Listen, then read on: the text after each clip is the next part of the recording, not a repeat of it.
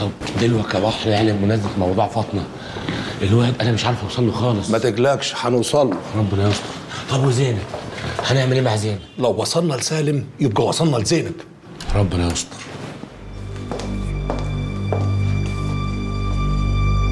تعملي جوه في المكتب.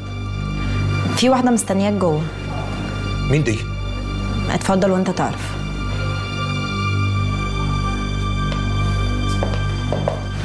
استنى عندك هنا يا نسمة هي مين اللي مستنية جوه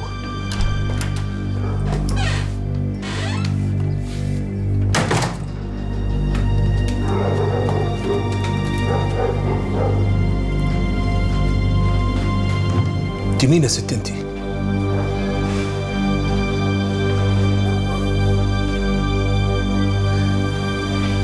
وحشتني يا بحر.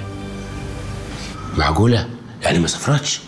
أنا برضو مستغربة زيك مش عارفة هي سافرت إمتى ورجعت إمتى وجاية لابسة نقاب وحاجات غريبة كده مش عارفة في إيه. عقاب آه. كان لازم اعمل كده عشان ما حدش يشوفني ولا يعرفني وأنا جاية لك. اللي مش قادر افهمه. مش انت قلت لي قبل سابق. سيبك من اللي أنا قلته قبل كده يا بحر دي حكاية طويلة قوي مش هعرف أحكيها لك دلوقتي. حكاية إيه؟ أنا لازم أفهم كل حاجة دلوقتي. كيف سافرتي؟ ومتى رجعتي؟ وكان ليه ده من أساسه. ودلوقتي خايفه خايفه من إيه ومن مين؟ ياك يكون قريبك اللي اسمه أشرف ده ظهر في حالك تاني. خلينا في المهم يا بحر. قلت لك ما فيش وقت للكلام ده دلوقتي.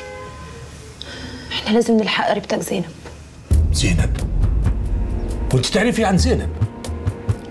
الحاجة من إيه ومن مين؟ هي مش زينب مختفية بقى لها يومين؟ صح. بس انت كيف عرفتي؟ نلحقها بس الأول وهفهمك على كل حاجة. تعرفي مطرحها أيوه. قومي اقتصادي همي. يلا. بحر على فين؟ أنا عايزك تعمل اللي قلت لك عليه بالظبط بس أنا عايز أعرف أنت رايح فين دلوقتي؟ لازم أنا الحق زينب. زينب انت عرفت طريقها بقول لك همل موضوع البلد دلوقتي وتنزل دلوقتي تطلع على حضانة. اتكلم مع الناس اللي هناك أكيد هتوصل لمعلومة. أنا رحت قبل كده يا بحر وما عرفتش أوصل لحاجة. روح تاني وتالت ورابع. اتكلم معاهم حقق معاهم. ولا أقول لك راقب البنت اللي كانت معاها. أكيد هتوصل لحاجة.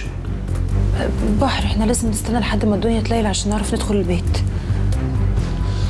ما تقلقيش. هنقف تحت البيت.